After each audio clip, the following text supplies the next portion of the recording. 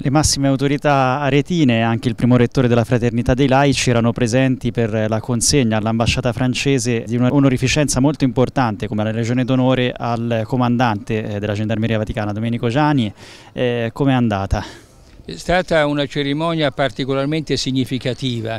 Eh, Domenico Gianni è il generale della gendarmeria della città dello Stato del Vaticano, ma è soprattutto, credetemi, un aretino che ama la sua città, che testimonia la sua aretinità in ogni luogo dove lui esercita.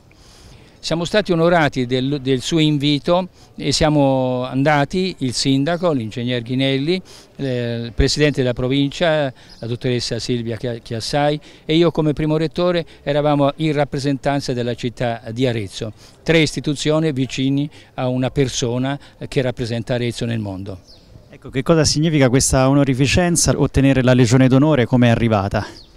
Io credo che l'ambasciatrice ieri sera abbia accolto molto bene facendo uh, il curriculum vitae eh, del comandante Gianni eh, perché l'ha rappresentato sia nella sua parte eh, di volontariato umanitario, di pensiero che ha sempre esercitato, sia nella sua attività anche di, ehm, eh, a favore dello Stato italiano e poi per avere ehm, aiutato, sostenuto, servito ben tre papi.